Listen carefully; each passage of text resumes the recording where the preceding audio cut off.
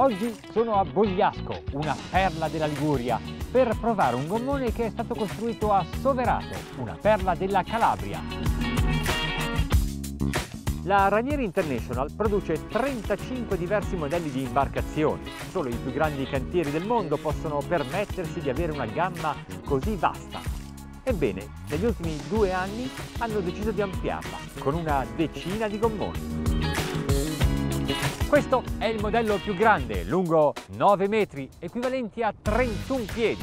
Per questo lo hanno chiamato Cayman 31 Sport Touring. Nel catalogo di Ranieri ci sono gommoni denominati Sport che hanno l'indole sportiva e quelli chiamati Sport Touring che hanno una comodità in più, la cabina. Ma con due motori da 300 cavalli è sicuramente super sportivo. All'uscita dal porto di Bogliasco le acque sono immobili, ma soffia il maestrale molto forte e mano a mano che ci allontaneremo dalla costa vedrete che produrrà degli effetti. Wow, wow. Sento l'elica uscire fuori! 50 nodi! Postazione di comando è molto comoda perché l'appoggiareni è anatomico. Timone e comandi sono alla giusta altezza e la pedana puntapiedi mi permette di trovare la migliore posizione per la guida sportiva. Quello che non mi piace è la posizione degli strumenti. Sono troppo distanti, leggo bene la lancetta ma non il display sotto il quadro. Li vorrei più vicini, qui, al posto della radio. Quando si osserva una barca o un gommone bisogna badare, oltre alla bellezza, alla funzione.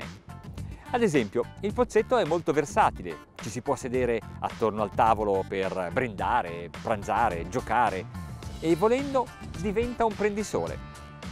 Per non farvi mancare proprio nulla, a bordo c'è un mobile cucina da attrezzare con lavello, frigo e perché no, il barbecue.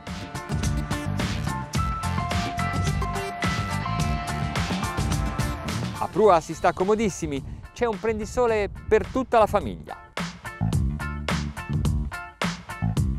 Le imbottiture sono di PVC espanso a cellula chiusa, un materiale che non assorbe l'umidità.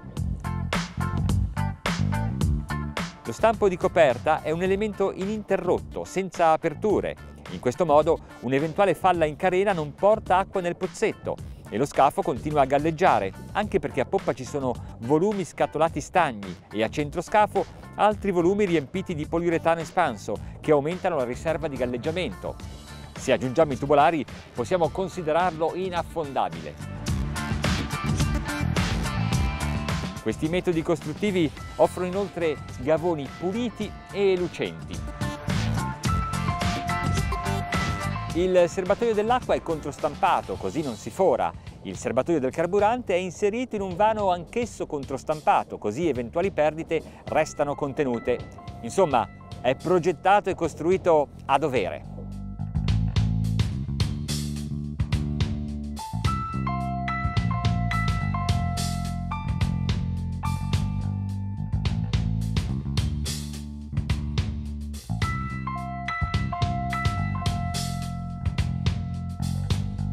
E adesso lo proviamo.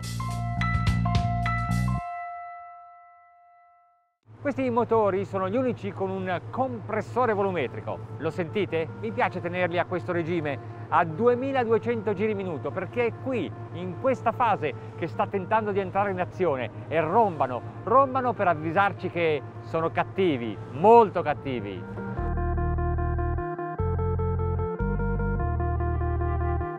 Colpo di gas e lo scafo è implanata, anche perché entra in assetto a una velocità bassissima, addirittura inferiore ai 10 nodi e questo ci fa capire che il bilanciamento dei pesi è veramente giusto.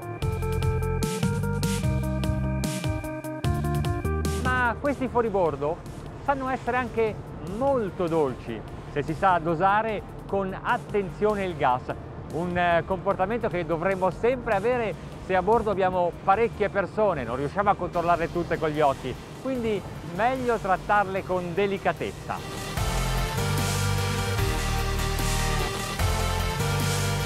Qui il vento comincia a farsi sentire, le onde hanno delle creste schiumose, non sarà facile e sicuramente prenderò qualche schizzo, è inevitabile col maestrale così teso.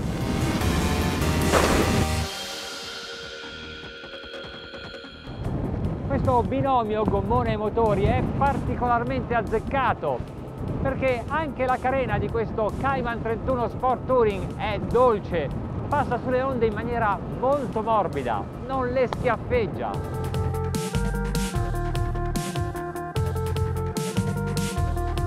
A 3500 giri la velocità di crociera è già di 30 nodi.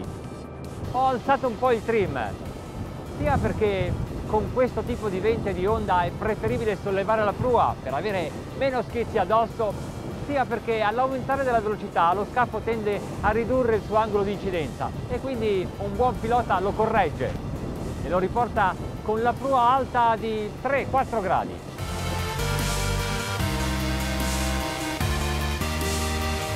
Ora, una delle cose che dobbiamo verificare è se anche il setup è quello corretto, perché questi motori sono in grado di arrivare a 6400 giri minuto e voglio vedere se li prenderanno tutti.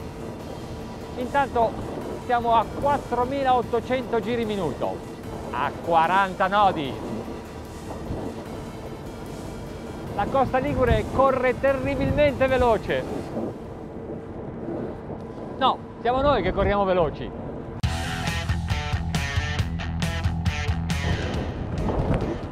Oh. Sento... Wow, oh. Sento l'elica uscire fuori.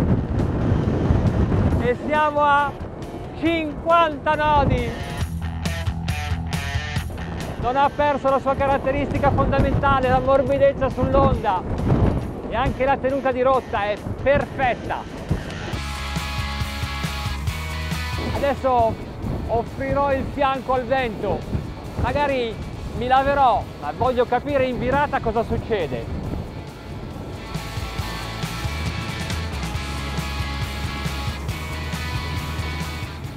Non succede nulla. Perfetto. In questa direzione è andata molto bene. Nell'altra spero che il parabrezza mi aiuti è molto grande